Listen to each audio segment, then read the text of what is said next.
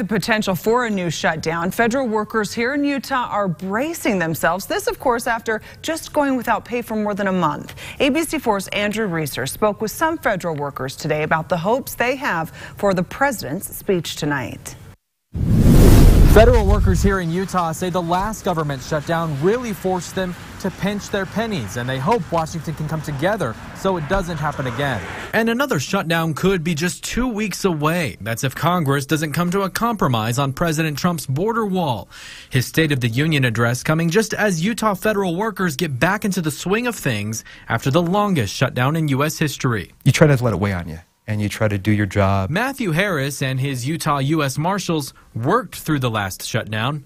They didn't stop. We arrested at least two dozen fugitives here in Utah during the shutdown. Despite having to tighten their own household budgets. Naive to say that I wasn't concerned about morale. This single mom of five who works at the Ogden IRS out of work for more than a month concerned about another furlough. You don't know when you're going to go back to work and be able to support your family. Like, it's very nerve wracking. Utah's federal employees say they don't take a position on the Trump administration's policies, but they do hope Washington can reach across the aisle and come together. We hope there's a resolution.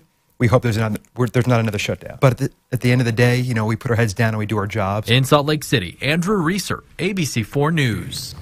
All right, well, the IRS saying its operations could be impacted again by this shutdown, which could happen right in the middle of tax season. The IRS encouraging you to get your returns filed.